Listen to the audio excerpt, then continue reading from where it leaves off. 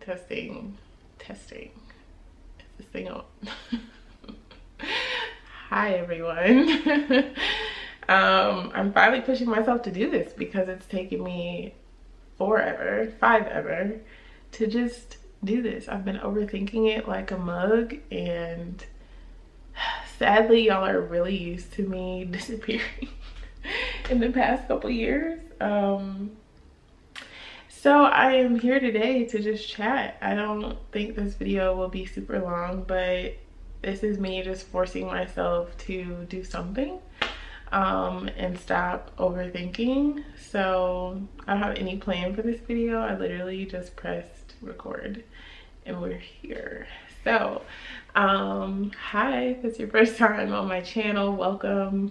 Um, shout out to the faithfuls that still DM me, still comment, still are here after the journey that this channel has been. Um, first things first on just life updates.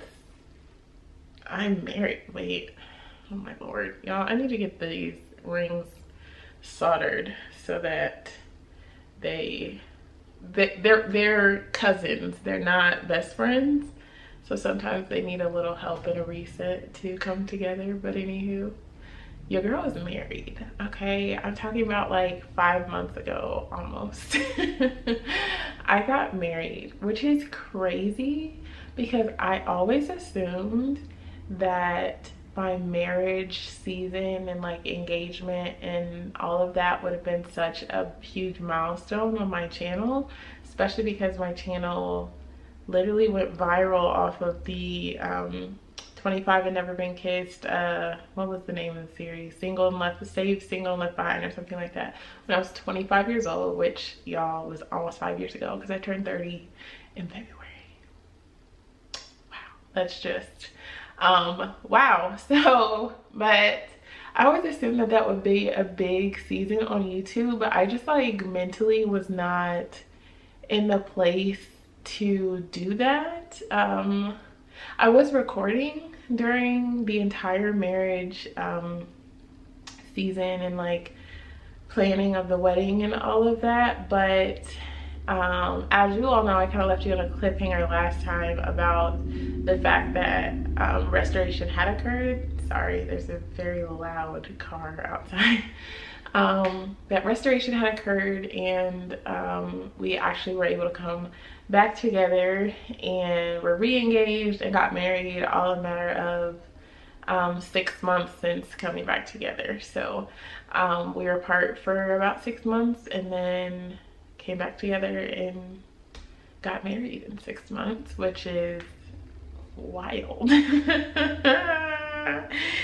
is wild. And I will be honest with you, like, I'm always so much more transparent with my YouTube family. And I feel like TikTok now, I'm starting to grow that kind of a relationship with TikTok, but mainly y'all, I'll give y'all the real real that I haven't given to my other platforms, which is that like, I didn't feel like I had a place to really share our story because I was living it and living restoration and healing while also trying to find a way to communicate that to people. And I think I hinted that in my like comeback video that I did in February of just like that's a lot to navigate um and I was really afraid of judgment if I'm being 100% honest because like the reality is uh, there are people who don't agree with my decision. Um, there were people who spoke negatively of my choice. There was pushback. There was um, tension around um, our timeline of getting married. There are people I think still to this day who, if I asked them honestly or if they were speaking honestly, they would not have, uh, it's not that they wouldn't have positive things to say about us in our relationship. Um, but it just, you know, people these days, if there's anything people gonna have in 2023, it's an opinion. an opinion about somebody else's life, decisions, and things that affect not you at all, but you are going to have an opinion about it. And I just, I'm was not a safe space as a recovering people pleaser for me to get out here and try to form a narrative that was publicly palatable and then still get haterade in my comments. I just was not prepared for that. I was trying to stay spiritually grounded, focus on the huge task ahead, which was marriage. Make sure that I was ready for that, that we were ready for that. And then also planning a wedding without a wedding planner, which I highly would never recommend to anyone ever. Don't do it. Please listen to me. I don't care if you're dirt broke. If you're dirt broke, then just have a little backyard wedding that doesn't require a whole lot of significant pieces and parts because I'm telling you, I'm telling you, don't do it. But I did it. And it ended up turning out great. It was not, I will be honest, like I think if I had a wedding planner, there were there would have been things that came together much more smoothly. And then I think there were there would be aspects about my day that I dreamed that would have come out like I dreamed them. But that's not me complaining. Like I, I loved my wedding. Um, I loved it. And like we have forever to go and vow renewals are a thing, you know, like you can have multiple types of experiences um, throughout your life. It's not all on the wedding day. And honestly, we were on a tight budget for the wedding. We were not interested in um, going all out. We also weren't interested in focusing and spending so much money and time on a wedding that we didn't invest in ourselves in the marriage that was coming. Um, so yeah, it was just a lot, y'all. It was a lot. And I did record pieces and parts of it and I have some of those pieces and parts but i don't know how to like do y'all want to see that? Do y'all want to see the footage of me like finding my dress? And uh what else did i record? Like some of the planning process like diy stuff that i did. Y'all tell me. I don't know. Because maybe like y'all are like the time is over. You're already married. We don't care anymore. And that's fine okay? I may still post one or two things that i know i want to post just so i have them as memories forever but also if y'all are interested let me know. So i'm trying to figure out a way to do it. Right now i've been spending a lot of time on tiktok and i still haven't even broke through on tiktok how i want but i just i've been wrestling with this question of like do i still have a place in social media world? Like I think who I am that got me all of the traction and attention at one point in my life I'm just not as connected with that version of myself anymore. And I know I've said this 30 times on my channel. Y'all are probably rolling your eyes like, sis, we've heard this. I know, but I just, I feel the need to say, to say it because I feel like it'll give y'all a window really into my mind right now. It's just like, I don't know. I feel like where social media has gone now is like, I, I wasn't keeping up, keeping up with the trends. I wasn't like, I was like two years late to even posting my first reel. Like i just when everybody was like jumping on those bandwagons and like even now people have threads. I don't even have a threads account nor do i really have interest. Apparently twitter changed their logo and name and now they're x. I haven't been on my, I only have a professional Twitter account. And I haven't been on it in probably over a year. Definitely not actively posting it over a year. So you see what I'm saying? Like I'm just, I'm not, I don't know. It took me forever to get started on TikTok. I had a few on there, but not really like a community there. So I'm kind of trying to break into that now. Um, but yeah, also like everything that I've been going through is not necessarily squeaky clean. And I feel like social media world especially around relationships it just feels like it has to be squeaky clean especially in like christian tiktok world. It's like you know you find your spouse in the church and you're both like spiritually healthy and mentally healthy and physically healthy and you live your perfectly you know perfect life and you both are you know it's just very like okay like people didn't have backgrounds people didn't have like things they've come from or come through. You know i've been trying to find and have found quite a few christian couples that are like just real.